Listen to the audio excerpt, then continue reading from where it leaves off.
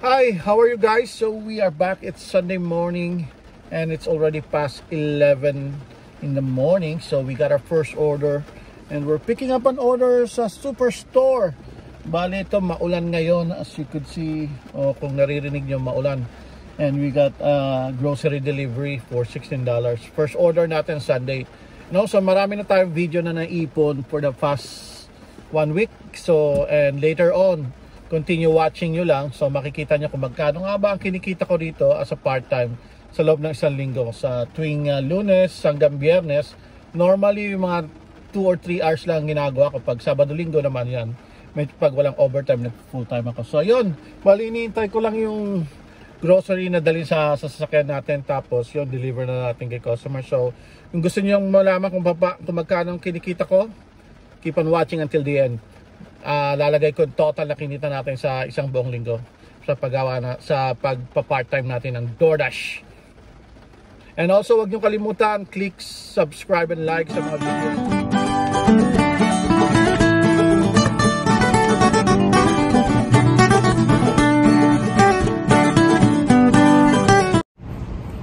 Ayun, nandito na naman tayo sa uh, sa mall. I-pick upin na naman natin itong Chick-fil-A order na to. Oh, malamig na. Kaya kita nyo naka jacket na ako. Start na kasi ng fall since yesterday. Officially it's fall na. So yun. Pasok tayo sa loob. Malamig. You can see balik na naman tayo sa mall. Ito na. So bali magkatabi lang tong Jollibee tsaka Chick-fil-A. Huwag tala magkaaway na manok. So ito. Kita nyo. Ito tayo Chick-fil-A. Pick na natin itong $9.75 so hopefully maaga natin matapos itong $50 since Friday. So pwede tayong magpa banjing banjing later on. Yan. Yan ship fillage so I hope ready na sana yung order natin. Okay.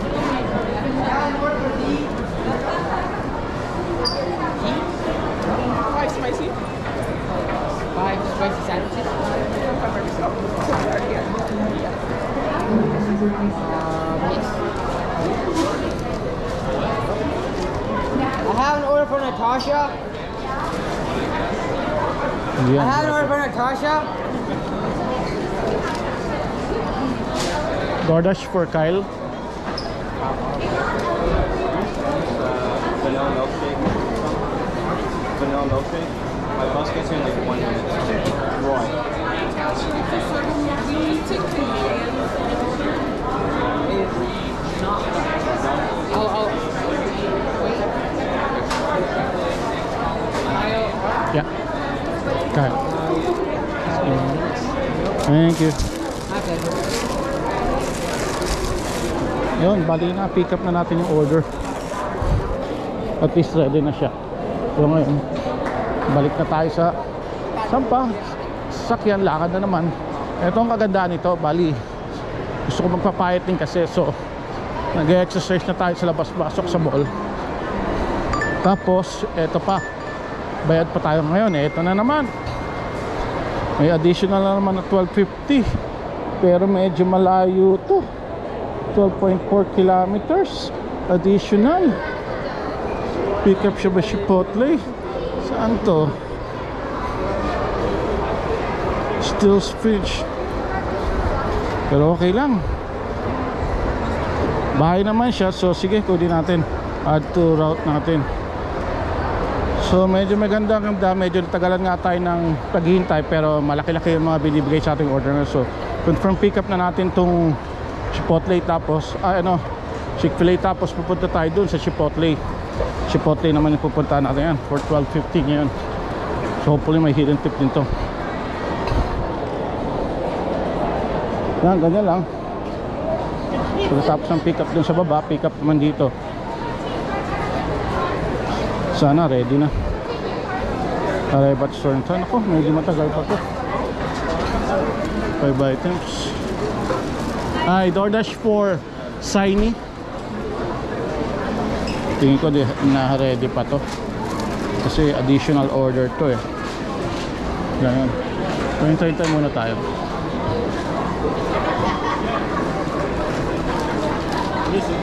Kailan tayo dito. Ito sa, sa mga paborito kong pick up at Chipotle, Jollibee, Chick-fil-A. Medyo malaki-laki yung order pero meron din mga hindi nagtitip. Karamihan hindi nagtitip. Pero okay lang. Alright. So, that's it. So, hintay-hintay muna tayo. Ginagawa pa raw. Few moments later. So, nandito tayo. Deliver na natin itong Jollibee.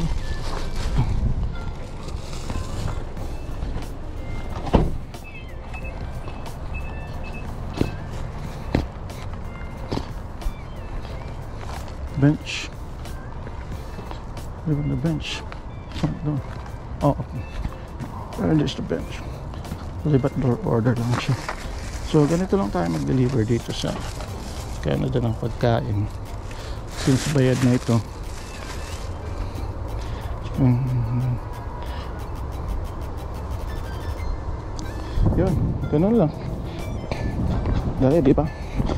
So confirm lang natin so magkano siya. 7 dollars nga lang. So 1 dollar tip binigyan tayo ni customer ng 1 dollar. Tapos may pick pay na 150 yan naging 7 dollars for 2 kilometers.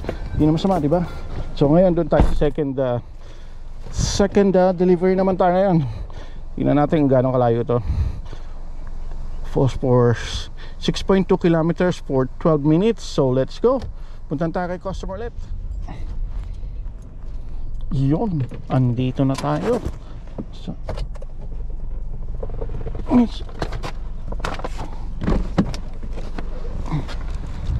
baliya sa tayo magti-deliver number ano to? 13 libat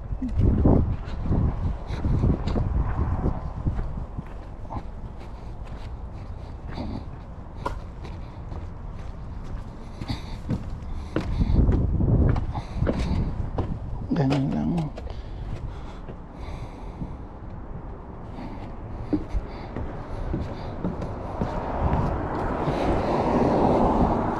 yun bali ganun lang ang pag-deliver dito.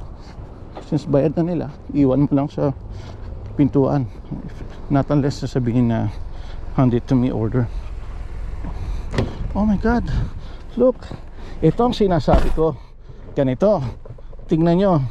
11 dollars lang sinabi sa atin yun. Pero ang total natin is 18 dollars and 75 cents. Ang laki nito. Plus yung 7 dollars kanina kita nyo customer tip pa lang 11 dollars na. So delivery natin 625 plus 150 so bali 1875 oh buti hindi ko dinecline to. Medyo malayo pero okay lang worth it siya. So ang total natin ngayon wala pang siyang oras is $25.75 na. So ngayon balik na tayo ngayon sa dito. So nakikita nyo dito nandito tayo ngayon. So babalik tayo doon. So that's it. One hour later. yun medyo gumagabi na dumidilim na. Kita nyo almost uh, 7.44 na ng gabi. So ito pa rin tayo nag-deliver since Friday ngayon. Walang pasok bukas kasi medyo mahina sa full time natin ngayon. Hindi tulad ng dati. Talagang laging overtime pag Sabado Linggo. Pero ngayon dahil recession medyo mahina. So ito kaya ito nag pa part time na lang tayo ng ganito yon mga dre kita nyo oh, medyo madilim na talaga. So gagamit na ako ng flashlight dito. Mahirap hanapin ang mga number dito ngayon. Minsan hindi nagbubukas ng ilaw yung mga customer. So ayan nandito na tayo. Deliver na natin to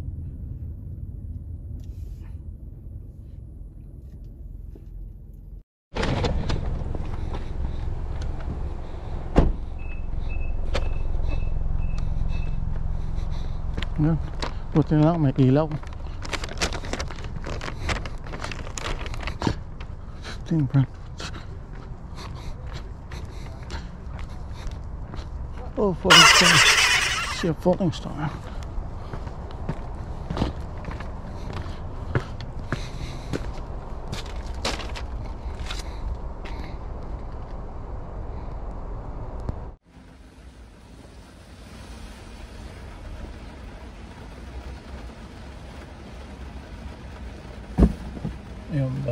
Nilalagay niya sa likod yung order ng customer. Umuulan talaga, lakas ng ulan, grabe. Mababasa itong delivery na to, dapat to may plus 2 dollars na to. Kasi lakas ng ulan eh. Normally pag may, malakas ang ganitong kalakas ang ulan is may bonus eh. Pero ngayon wala, mamaya pa ang bonus. Anyway, so yun, hintay-hintay lang tayo. Matatapos na. Hindi naman pwede lumabas umuulan sa trabaho nila. Yeah, that's all for Alright, thank you. Bye. Yun, at tapos so put lang tayo kay customer.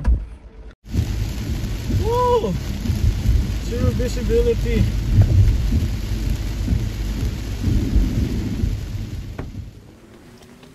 Yon, dumating na tayo sa area ng pagdidelivera natin. Kita nyo, kahit umuulan, kailangan natin ito i-deliver.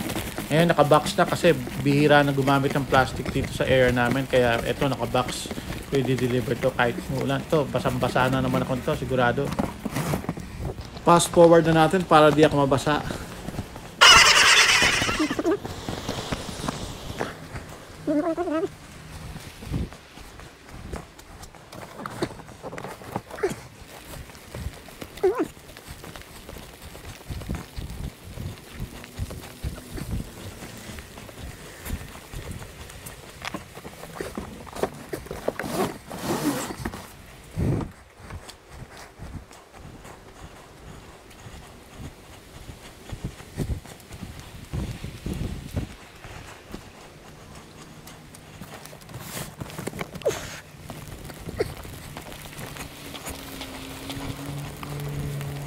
interessant.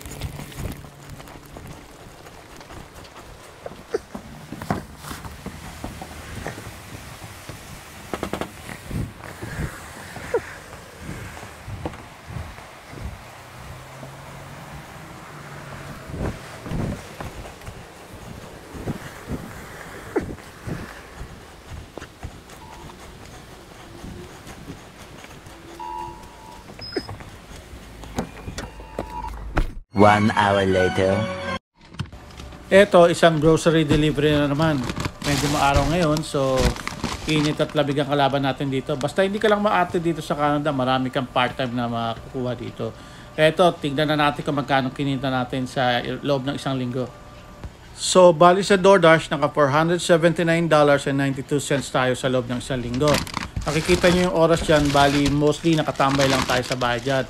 Tapos sa skip the dishes naman, naka magkano nga bang inabot? Naka $108.46 tayo. Usually medyo mahina ang skip the dishes dito sa area namin. So total natin ngayon kung magkano lahat to. So, bali ang kinita natin sa loob ng isang linggo is $586.38. Hindi na masama sa part-time, di ba? So, bali, kaysa naman patambay-tambay lang tayo sa bahay nang walang ginagawa. So, yon So, kung gusto nyo pa ng ganitong video, keep on watching and don't forget to like and subscribe. Thank you guys!